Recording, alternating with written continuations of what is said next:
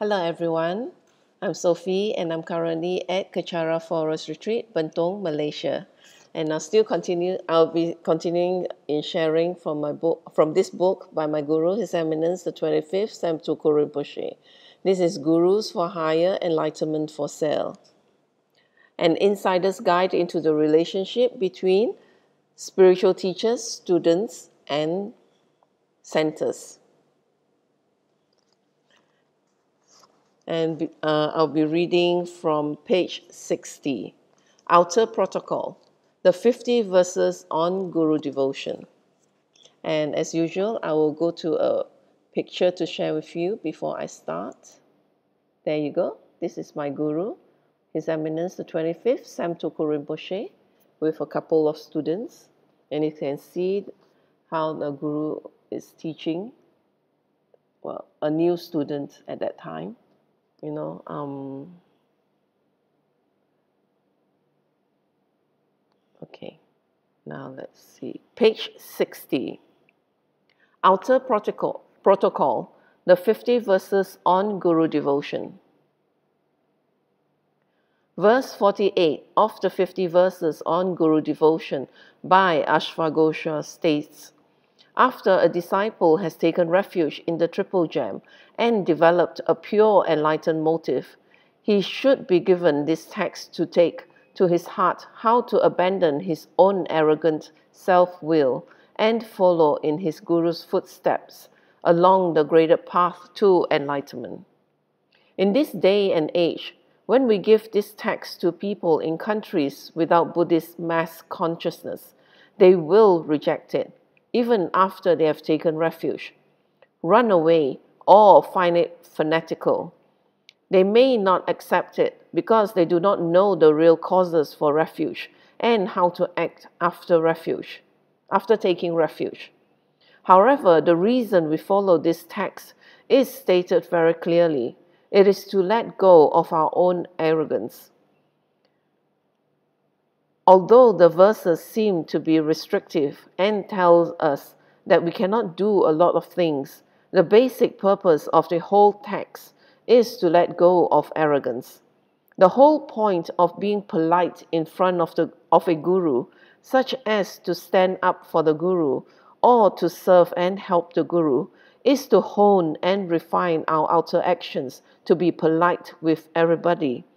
How we sit or act and how alert we are is very important.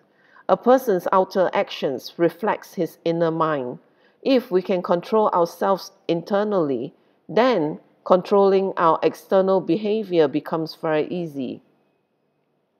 When we attend Dharma talks, according to the 50 verses on Guru devotion, we are not supposed to twist our bodies, crack our knuckles, stretch or point our feet to the Guru play with our nails, look around, fall asleep, and move about to get comfortable.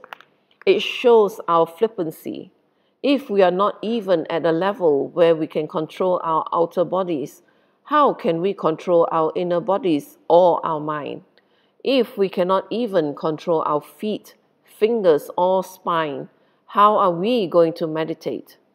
If we cannot even control this body, and we go around telling people we are spiritually advanced, we will look ridiculous.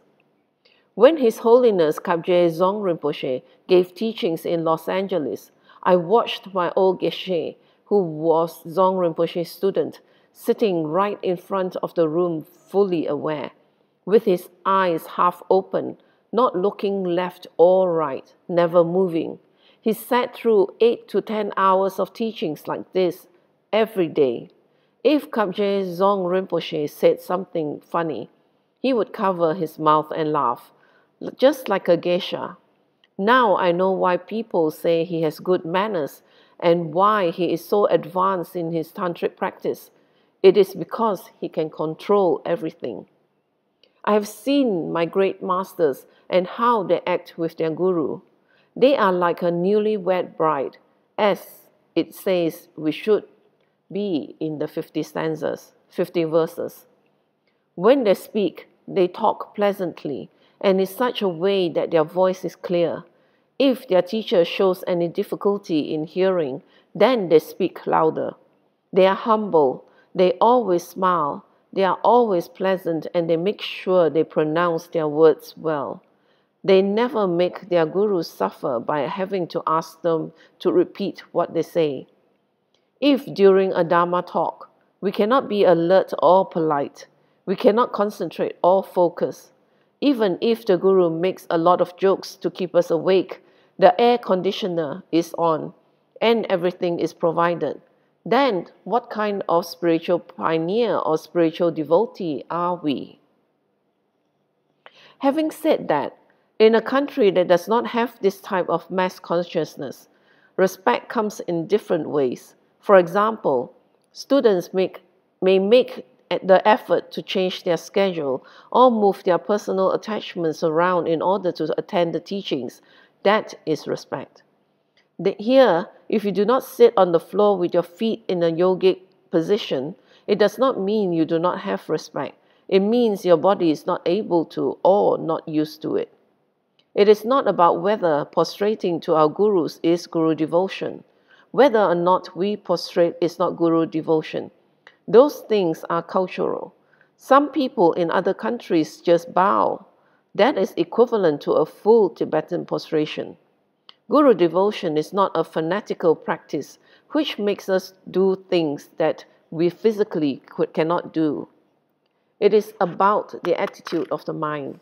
It is okay if we have not been sitting through hours of teachings with your back bent and hands folded for the last 40 years. If instead you sit on a chair comfortably, you are alert and do not fall asleep, that is very good. But to crack, your, to crack our knuckles, twist our bodies around, pick our noses, talk to our neighbors, or fall asleep is rude across all cultures. Those are basic human manners that we need to be aware of. Verse 45 says, If because of sickness you are physically unable to bow to your guru and must do what normally would be prohibited, even without his explicit permission, there will be no unfortunate consequences if you have a virtuous mind.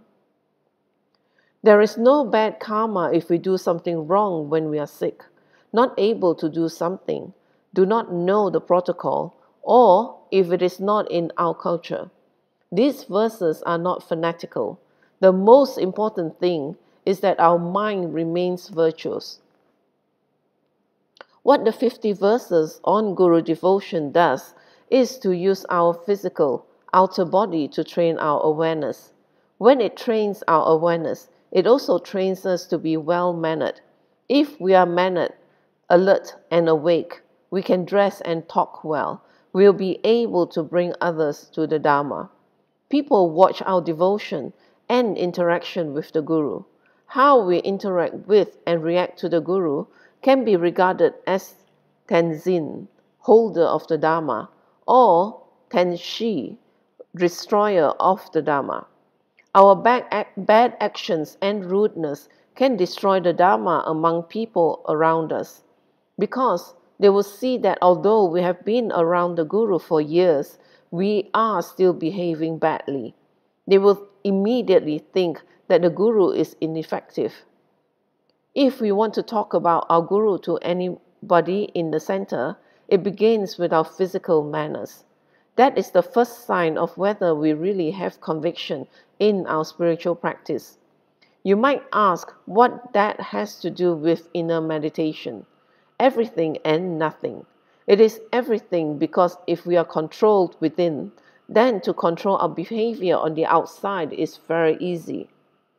We are taught not to argue with our gurus and not to argue with others near his presence. We do not disturb our guru's mind with our delusions. This is because he is here. Sorry. This is because he is there is to control our delusion. So, if we are practicing delusion next to Him, what is the point of being near Him? When He is with us all around us, we should control ourselves to the best of our ability and not argue, fight, or engage in negative actions around him. We do all this in our Guru's presence to train our mind to be aware, to be alert. It is training for us. We learn to do it twice, sorry, once, twice, thrice. We become accustomed to it, and we can then apply it to any situation. Dharma practitioners of the highest order are very polite, very mannered, and groomed. Their body, their speech, and their mind are used to hook people to the Dharma. Everything about their countenance evokes wondrous admiration in others, so that they ask, What are you about? What is your history? They talk to them and they, be, they come to the Dharma. All that is for development, and all that is for compassion. These are things that senior students should be able to teach others. Senior students should be able to take care of the new ones and the ones who always slip. Senior students should not just blindly ignore bad behaviors by other students, not do anything, say that they, are they tried and leave it. Senior students should take the responsibility for this and not leave it for the guru to correct other students. If we do that, we bring the guru down to the level of a disciplinary or a parent. As it says in verse 44, be diligent in all your actions alert and mindful never to forget your word of honor. If fellow disciples transgress what is proper in their behavior, correct each other in a friendly manner. When I lived with Kensur Jampa Yeshe Rinpoche, I took control of handling all the students' discipline. I would never bring it to Rinpoche because that would have been a distraction to take my guru away from his real purpose of teaching. When other students and other disciples do not do what they are supposed to do, it is our responsibility as the Guru's disciple to let them know. If senior students keep quiet about other students who are always errant and full of mistakes, they allow this behavior to continue or they let someone else talk about it. It is a clear reflection of the senior students' lack of Guru devotion, care, compassion, and commitment. It becomes another way of expressing that we do not care or that we do not want to look bad or lose face. That is ego. Then, as it says in verse 49, after training in the 50 verses and mastering them, we become a proper vessel of the Dharma. When we become a proper vessel of the Dharma, the Guru may give us empowerments, initiations, and the Tantric path. By studying the prerequisite trainings of Guru devotion and the graded path common to both the Sutra and Tantra, you will become a suitable vessel to hold the pure Dharma. You may then be given such teachings as Tantra. A real guru would not give us empowerments or the tantric teachings without us first mastering the 50 verses on guru devotion. These 50 verses train us in our spiritual practice, which is the best and ultimate offering to our gurus. There are three types of offerings we can make to our gurus offering of material gifts or items, offering of service, and offerings of our spiritual practice. The offering of spiritual practice and transformation is the best out of the three and the one that our gurus actually expect and want from us. If we have taken refuge in our Guru, we should decrease hateful, bad states of mind, delusions, and we should offer that up to our Guru. If we have recited the Heart Sutra one million times, or if we have gotten rid of or lessened our anger, we should offer that up to our Guru. The Guru wants our practice. If we just offered material things, we will still get merits and positive potential, and we will still make a connection with the Buddha. However, making material offerings is not actually the purpose of Guru devotion. Reciting and meditating on the 50 verses on Guru devotion is not a torturous act. It is not to brainwash or torture us, or to make us follow a Guru mindlessly. It is to remind us of the correct conduct, towards a being who teaches us enlightenment and who is enlightened or represents the state of enlightenment that we wish to achieve. The proper conduct towards the Guru is not fanatical, it is based on logic and on our physical and mental capabilities. The Guru is the greatest training ground for us to destroy our delusions, illusions, hatred, anger, and all the 10 non virtuous acts that we have engaged in since we were born, from our previous lives until now. Our Guru is the greatest training ground for us to become enlightened beings. If we can practice all the qualities that are mentioned in the 50 verses with our Guru, we'll be able to practice all this with all sentient beings. And finally, when we are able to practice this, practice this with all sentient beings without any feeling, hurt, attachment, or detachment, then we will have realized emptiness and gained compassion. Our Guru is our battleground. The best thing about this is that he does not expect anything from us except our Dharma practice. Anything we do in relation, in relation to him, offering food, material items, or service, or assisting him, is not for him. It is for us.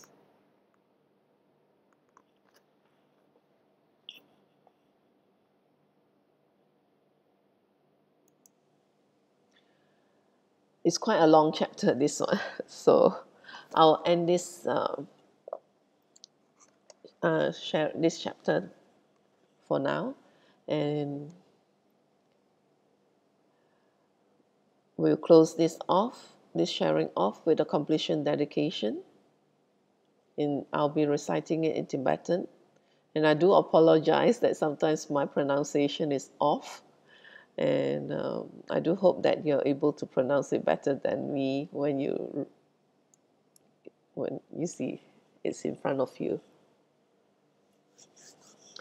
Jiangjiu Sancho Rinpoche ma ke panam ge shi ke panam pa me pa yang go ne go nu pe wa shu Tony Towa Rinpoche ma ke panam ge shi ke panam pa me pa yang go ne go nu pe wa shu Taso jine sapange wadi tandan drowa guna kampadang je pa je sun losan trapai tambingin porin dusa se sho kewa kuntu yanda la madang drame choki pa la long cho jing sadam nangi yote razone doje changi ngo pa ngo tu so Ewa di yodo da lama sangyo droyo ne droyo chikya malu pa de sala go pa sho choki gyan posonga pa chosu nampa pe wala geki samasi wadan tunki malu sangwa sho dadam sangi desandan droyo songi la tene gewa lo santrapai tampa yoriva gyushi.